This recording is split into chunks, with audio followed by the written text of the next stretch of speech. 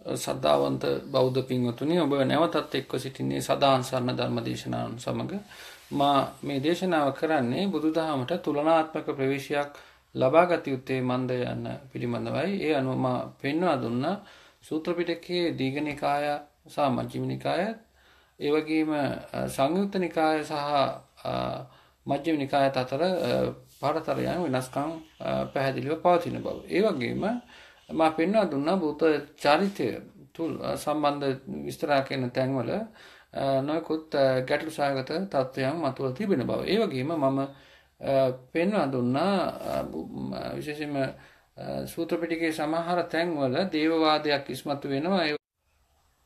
ඒ වගේම සූත්‍ර පිටකයේ මතු සමස්තයක් වශයෙන් ගත්තාම සමස්තයක් වශයෙන් ගත්තාම බුදුදහම අදේවවාදයක් බව. නමුත් මෙම සමස්ත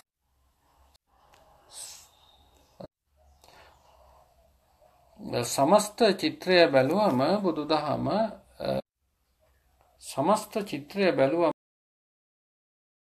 බුදුදහමම පැහැදිලි. ඒක තමයි අපි මුල් බුදුදහම වශයෙන් ගන්න. ඒ කියන්නේ මුල් බුදුදහම සමස්තයක් වශයෙන් ගත්තම අදේවාදයක්, සමස්තයක් වශයෙන් ගත්තම නිර්වාණයට යොමු වෙලා තියෙන්නේ. සමස්තයක් වශයෙන් ගත්තම බුදුදහම සම්පූර්ණයෙන්ම නිවන් ලාභය පිණිස එය හුවා දැක්වීම පිණිස තමයි පවතින්නේ. ඒ වගේම කර්මවාදයේ සමස්තයක් වශයෙන් ඒ චිත්‍රය තියෙනවා. නමුත් අපි දැන් බලමු ලංකාවේ පාවිච්චි වෙන තේරවාදය කොච්චර දුරට විශ්ව වෙලා තියෙනවද කියලා ප්‍රධාන කොටම මුල් බුදු සමයේ මා කිව්වා මේ සත්වයේකු පුද්ගලයෙකු ඇති බව තමයි මුළු බුදු සමයේ සම්පූර්ණයෙන්ම විග්‍රහ වෙන්නේ. උදාහරණයක් වශයෙන් මා කිව්වා බුදුන් වහන්සේ තමන් වහන්සේගේ ජාතිය ගෝත්‍රය උසස් බව සූත්‍ර පිටකයේ පැහැදිලිව දක්වලා තියෙනවා කියලා. ඒ වගේම තමන්ගේ ඥාතීන්ට අනුග්‍රහයක් විදියට ඔවුන් පැවිදි බවට පත් වෙනකොට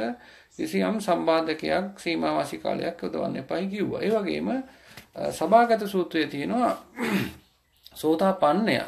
සෝතාපන්නය මරණින් මතු ඔහුම ගිහිල්ලා දිව්‍ය ලෝකෙ උපදිනවා කියලා. ඒ වගේම අබේ රාජකුමාර සූත්‍රයේ තියෙනවා ඊටාම පැහැදිලිවම මේ දෙවිදත්තර මරණින් මතු අපායගත වෙනවා. මේ සත්වයක ඉන්න පුද්ගලයෙක් ඉන්නවා. නමුත් මේ මේ කතාව තේරවාදීන් පිළිගන්නේ සාර්වස්තිකවාදය තුල පිළිගන්නවා. සාර්වස්තිකවාදය කියන්නේ ඒ තේරවාදී කුලයක් සාර්වස්තිකවාදය දැනට නැහැ. නමුත් සාර්වස්තිකවාදී කුලය තුල සත්‍ය පුද්ගලයෙක් ඇති යන්න පිළිගත්ත. සියල්ල ඇත. නමුත් තේරවාදයට එනකොට සත්‍ය පුද්ගලයෙක් නැත කතාව කියන්නේ. දැන් සත්‍ය පුද්ගලයෙක් නැත කියලා ඊට පස්සේ මේ මේක තවත් දීර්ඝ වශයෙන් විග්‍රහ කරනවා මොනවද මේ පරමාර්ථ දර්පයන් පමණක් පවතිනවායි කියලා. නමුත් එහෙමනම් දැන් එතන එතන ලොකුම ගැටලුවක් එතන හදලා ඉවරයි. සත්‍ය පුද්ගලෙ නැත්තම් මාර්ගඵලලාභින් ඉන්න විදියක් නැහැ.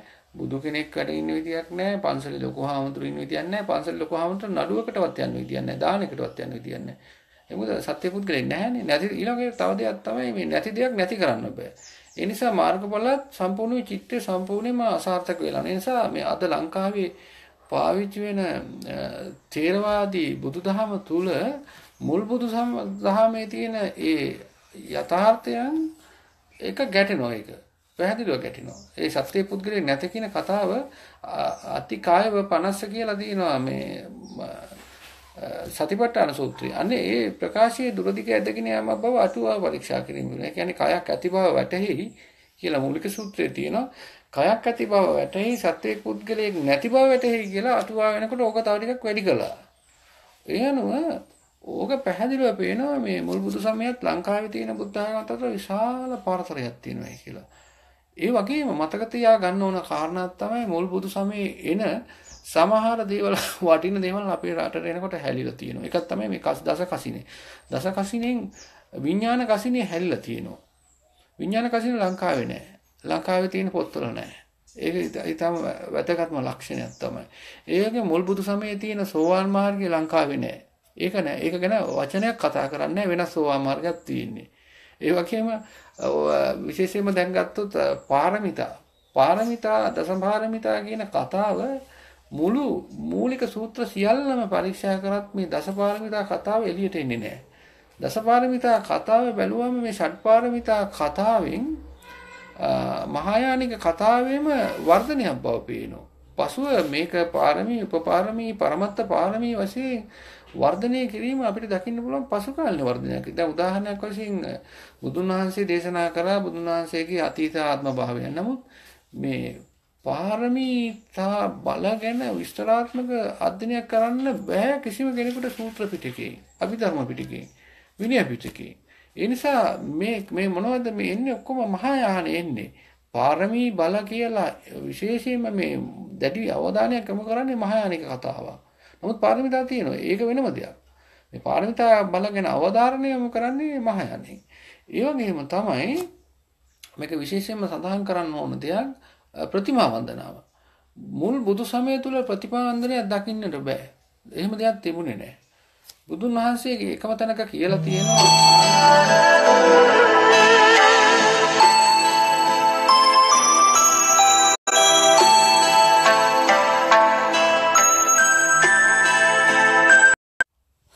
එතකොට දැන් ඔය පාරමිතා කතාවෙන් බැත්තත් බැල් වැලුවත් පිළිම වන්දනාවෙන් ගත් පැත්තෙන් ගත්තොත් මේ ඔක්කොම මහායාන ආభాෂය. දැන් හොඳ හොඳම දේ තමයි මහායාන ආభాෂයෙන් තමයි පිළිම වන්දනාව ඇති වෙන්නේ. කනිෂ්ක රජුරෝ තමයි පිළිම හැදීමේ නිර්මාතෘ. කිසු සාමාන්‍ය කිස්වාස පළවෙනි සේවසේ වගේ කියලා බොහෝ දුරට විශ්වාස කරනවා. මේ විශේෂයෙන්ම මේ කනිෂ්ක රජු කුෂාන් වංශිකයෙක් ඔහු තමයි මේ පිළිම බුදු පිළිම හදන්නේ.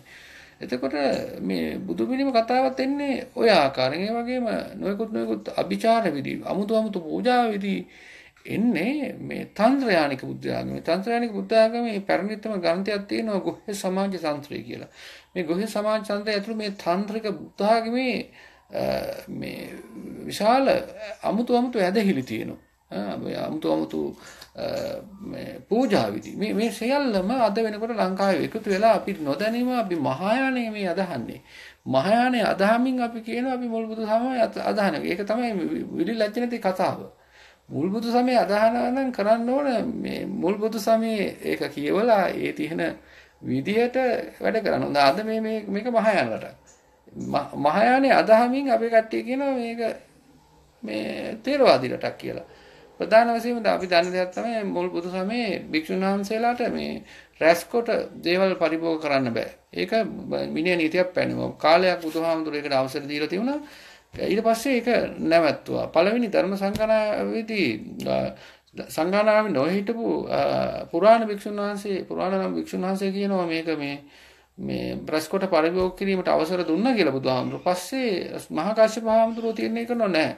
ඒ අවසරය පසු කාලනව අයින් කරා කියලා. එතකොට රැස්කෝට පරිභෝග කිරීම විනය වශයෙන් වර්ධී. නමුත් අද වෙන්නේ අපිට ගත්තම සියලුම දේවල් රැස් කරලා ඉවරයි දැන්.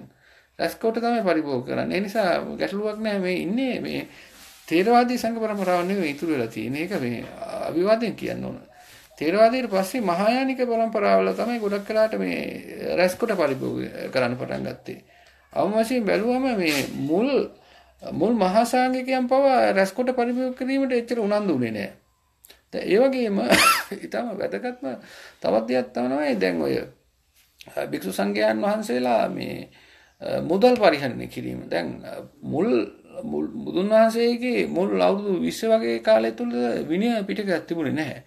නමුත් මුල් ශික්ෂාපද 16 තුලටම එනවා මුදල් පරිහරණය නොකිරීම. ඒ කියන්නේ ජාතු රූප රජත. ඒ කියන්නේ මුදල් හරි රත්තරන් රිදී අර මේවා පාවිච්චි කරන්න බෑ. එතකොට ඒ පාවිච්චි කරන්න බෑ කියන්නේ මුල් මුල්ම ශික්ෂාපද 16. ඒ කියන්නේ මුලින්ම මහාන වෙච්ච කට්ටියට දීපු 16. මේක සාමනීර සීලයටත් අයි තියෙනවා. ඒ වගේම වැදගත් වෙන්නේ උපසම්පදා සීලයටත් අයි තියෙනවා. එතකොට මේක කාල කාලය තිස්සේ ආපු ප්‍රතිපත්තියක් තමයි මුදල් පරිහරණයෙන් වැළකීම. මේක මේ මුදලාලිකරණය වීම වළක්වන්න. නමුත් අද වෙනකොට මුදලාලිකරණය වෙලා අවසන් වෙලා තියෙන්නේ. ඒ බුද්ධාගම මුදලාලිකරණය වෙලා අවසන්. දැන් බැලුවම දැන් අද පන්සලට ගියොත් හාමුදුරුවෝ මකර තොරණ හදන්න සල්ලි ඉල්ලාවි. අහවල් වැට හදන්න ඉල්ලාවි. දොළොස් මහා දේවාලය හදන්න ඉල්ලාවි. බෞද්ධ පන්සල් යන්න බෑ. ඉතින් මේ මේ தත්ත්වය ඇති වෙලා තියෙන්නේ මුල් බුදු සමය ප්‍රතික්ෂේප කළා සද්ද නැතුව මහායානය බලවත් වුණා නිසා. සද්ද නැතුව මහායානය ගෙනල්ලා. දැන් ඒක වල අපි අපි නොදැනුවත්වම මේ මහායාන සම්ප්‍රදායන් මේ ගෙනියන්නේ. මහායාන සම්ප්‍රදායන් තමයි විචිත්‍ර පූජා විදිහින් තියෙන්නේ. මුල් බුදු සමය බොහෝම නිහතමානී එකක්. බොහොම නිහතමානී පරෝපකාරී දැන් දැන් අපි බැලුවම ඒ කාලේ අනාථපිණ්ඩික සුරතුමා හිටිය අනාථපිණ්ඩික සුරතුමා ගෙදර ගාව දන් දානයක් තියෙනවා හැමදාම දාන තියෙනවා. දැන් අද කරන්නේ හැමදාම ගිහිල්ලා පළතුරු ගිහිල්ලා චෛත්‍ය වලින් වහනවා. ඒ වගේම චෛත්‍ය වලට ඇඳුම් අඳිනවා. මේ ඔක්කොම තනිකර මේ මහායානෙන් ආපු ඒ මහායාන දායාද. දැන් මේ මහායාන දායාද කරපින්නාගෙන අපි කියනවා නම් අපි ශ්‍රේෂ්ඨ මේ මුල් බුදු සමයේ සමාජිකයෝ කියලා ඒක මේ ඒක බොරුවක්.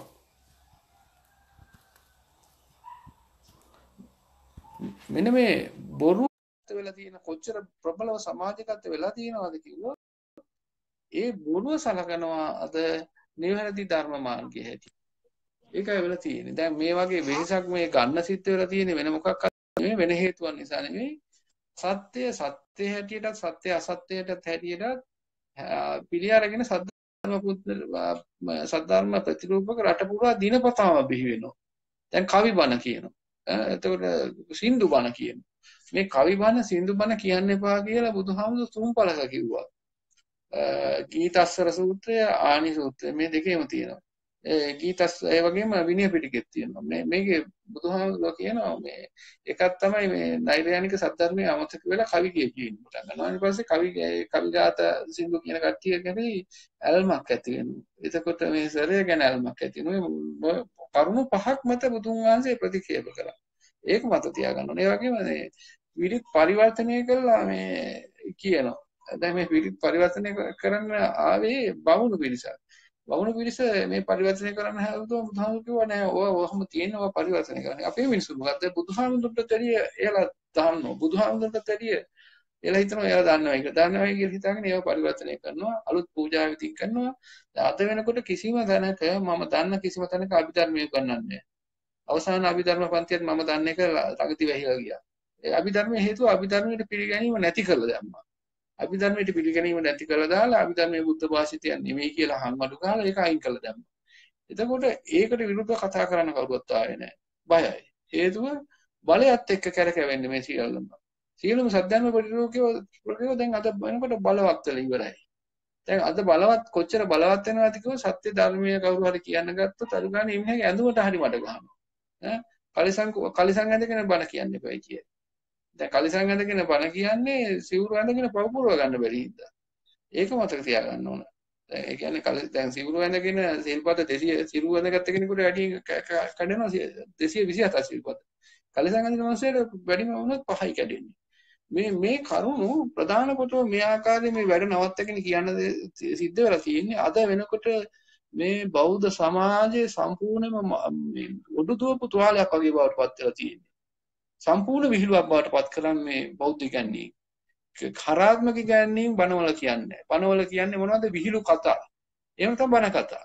විහිළු කතා, බණ කතා රස කර කර උපාසකම් වලට සමහරවිට කුණුහරුපත් කියන.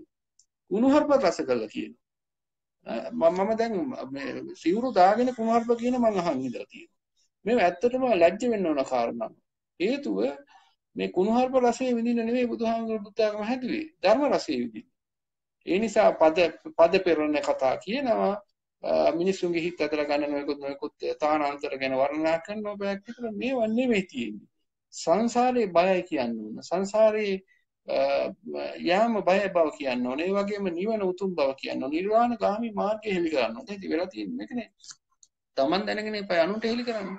තමනුත් දන්නේ නැහැ. අනුත් අනිත් අය නිර්වාණගාමි මාර්ගයේ සෑහෙන දුරක් ඉවතර ඇදගෙන ගිහලා තියෙනවා.